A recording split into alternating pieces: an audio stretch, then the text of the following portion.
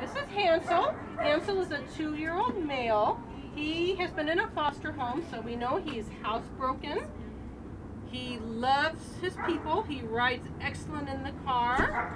He does like to go for nice long walks. He walks very well like a gentleman. He is a great all-around dog.